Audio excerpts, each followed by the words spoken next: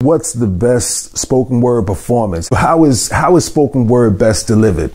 I look back to the past when I'm trying to understand what's going on now and, and, and where things should go.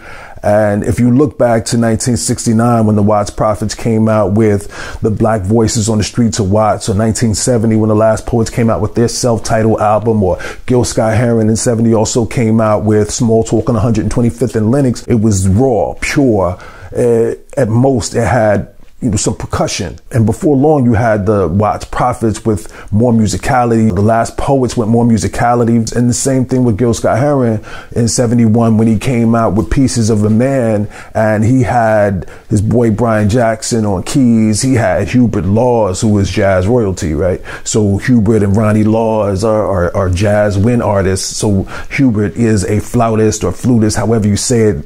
Back in the days, if you remember in the 80s, their younger family members came out with that that, you know, very special, da da da da da da da. But you know, before that, Hubert, Ronnie were, were royalty. Speaking of royalty, you had Ron Carter, who like Charles Mingus is one of the biggest names that ever was in jazz uh, bass playing. He was on that. The Revolution Will Not Be Televised that came off that Pieces of a Man album, which again is something that's musically famous, separate and apart from the poem. And then the Watts Prophets would be associated with Quincy Jones, with Horace Tapscott, who of course is jazz piano royalty. In 1973, you had one of the last poets, Jalal Mansur Nuriddin, came out with Hustlers Convention, had the backing with the music by Kool and the Gang, which again is a situation where the music is almost as famous as the poem itself. Spoken word grew into all types of different aspects of, of, of, bringing people in. Even in the mid 70s, you had Ntozake Shange for Color Girls Who've Considered Suicide When the Rainbow Was Enough. That was a poem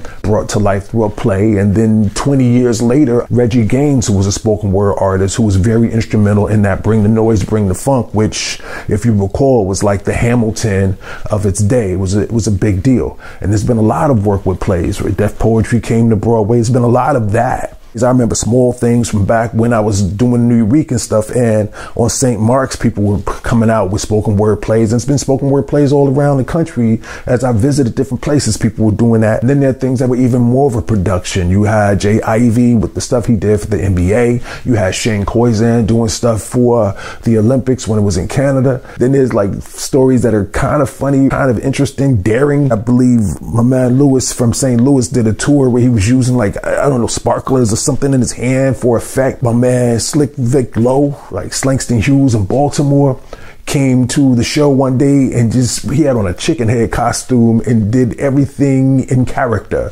So his poems had chicken references. When you talk to him off stage, he might cluck and walk away from you. It's still novelty, right? It's not something he could do every day. And actually, if you ask him to this day, he'll say that wasn't him.